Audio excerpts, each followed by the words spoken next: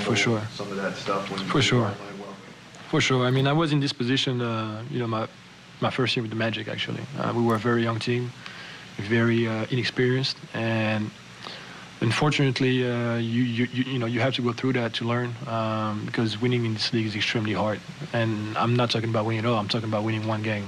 Um, it's extremely hard. Um, you know nowadays the the level of, of skill and shooting on the floor is is uh, higher than ever so there's, there's less room for mistakes um, and like you said you can play good defense for 17 uh, seconds and just because you you know you forget a guy that that crashes the board or cuts you know it it, it it messes up your whole defense, and now you have to scramble, and you know you give up um, wide open shots, and you can't have that, obviously. Um, so discipline and physicality.